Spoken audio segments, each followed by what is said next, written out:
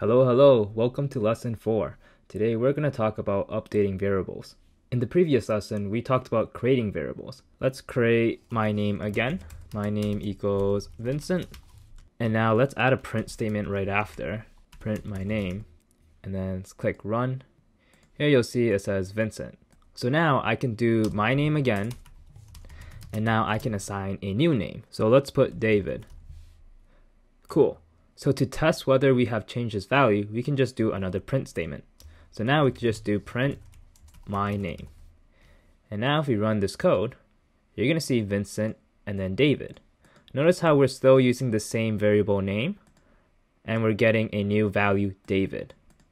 So basically, to update a variable, all we have to do is use the same name that we named the variable, and then we use an equal sign to assign a new value.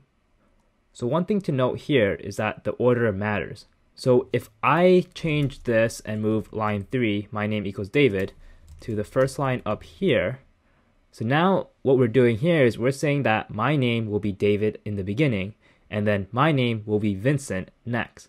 So now if I run the code, you're going to see Vincent twice because we overrode the value David and we put Vincent for it. And now we have two print statements here. Uh, so basically in programming, the order matters and code reads from top to bottom. So basically the code will read line one, then line two, line three, and then line four. Cool, so that's for updating a string. Now let's do some math.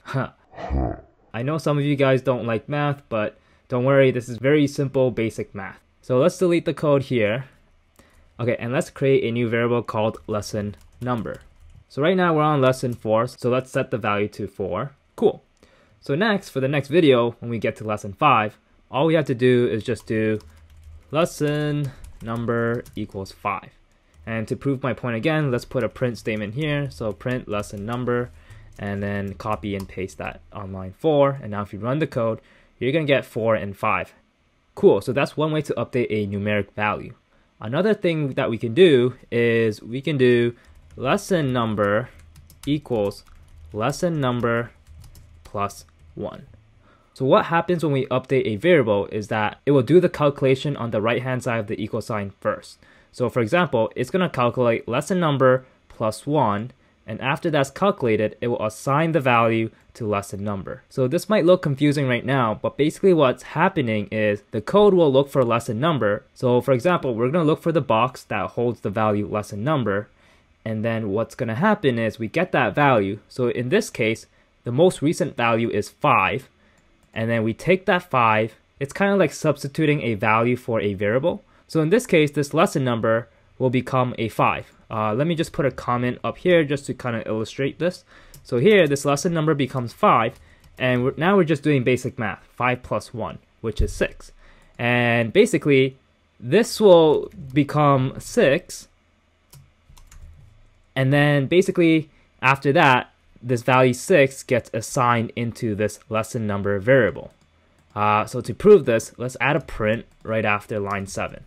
So now if we run this code, you're going to see 4, 5, and 6. Uh, hopefully that made sense. There's actually also a shortcut for this as well. Uh, sometimes people get lazy and they don't want to write the variable name again. So what we can do here is we could do lesson number. All we have to do is give it the operator. So here we could put plus if we want to add and then we could put the equal sign right after, and then we could just put the 1. And all this does is basically the same thing here, but it's just less redundant here because now we don't have to repeat this lesson number. So now let's put the print statement right after, and let's run the code. And now you see 4, 5, 6, and 7. Awesome. So there's also other operators that we can do with numbers. For example, we can do a plus, minus, and then the multiplication is a star. And with division, it's basically a slash. And finally, we can also do modulo, which is this percent sign, which basically just gives you the remainder. So for example, let's just do print 10 modulo 3. So basically what this will give us is the remainder of 10 divided by 3, which is 1. This is because when you divide 10 by 3, you get 3. And 3 times 3 will equal 9. So therefore, we have 1 remainder. So let's run this code just to prove what I just said. So as you can see here, we get the 1, which is just the remainder. Uh, the modulo operator is usually used to determine whether a number is even or odd. So basically, here, if we take 10 and we do modulo 2, this will give us a 0, which just means that it is even. And if we do 11 modulo 2, this will give us a 1, which means it's odd. This is because anytime you divide a odd number by 2, you always get one remainder.